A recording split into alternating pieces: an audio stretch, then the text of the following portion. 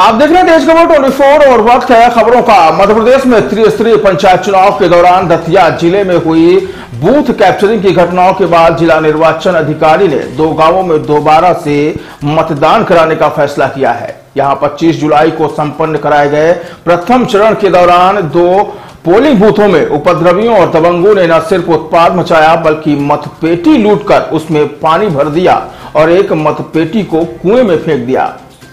ज़िले के हथलई और बरोदी गाँव में हुई दोनों ही घटनाओं के बाद 27 जून को दोबारा से मतदान कराया जाएगा और सभी बूथों की मतगणना 28 जून को कराई जाएगी। फ़िलहाल अधिकारियों के निर्देश के बाद सभी मतपेटियों को स्ट्रांग रूम में रखा दिया गया है। जानकारी के मुताबिक 25 जून को प्रथम चरण के मतदान के दौरान ग्राम पंचायत हथलाई के पोलिंग बूथ पर कुछ असामाजिक तत्वों ने धावा बोल दिया और मौजूद कर्मचारियों के साथ अभद्रता करते हुए मतपेटी को उठा कर ले गए और उसे कुएँ में फेंक दिया।